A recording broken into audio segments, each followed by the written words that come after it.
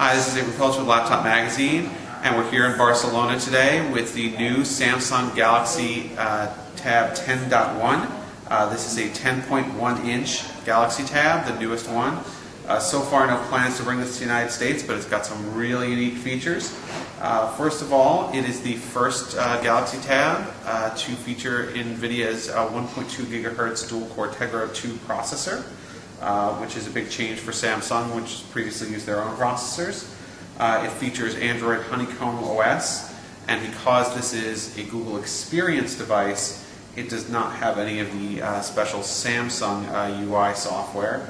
Uh, so uh, at least at launch it won't have those Samsung hubs like the Media Hub and the Reader's Hub and things like that.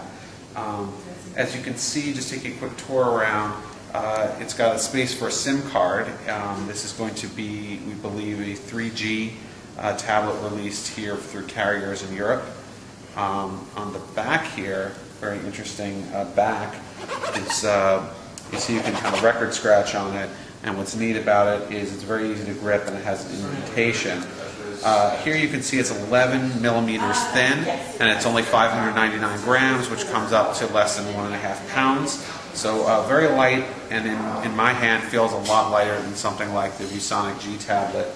Uh, so, you know, which was also 10 inches. So just taking a quick tour around the OS, uh, you see here that you've got a home screen. Because this is honeycomb, we can multitask.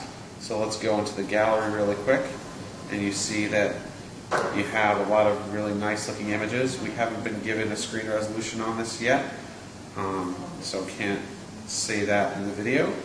Um, but it looks pretty high res.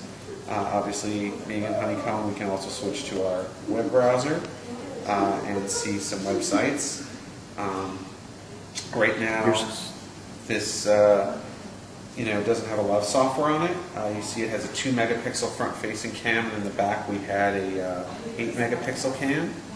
And um, you know, just to take a quick look at what's on here, obviously just some basic apps that come with Honeycomb, and this will have the Android Market, and probably some other neat things uh, when it comes out, which will probably be later this spring, March, April timeframe.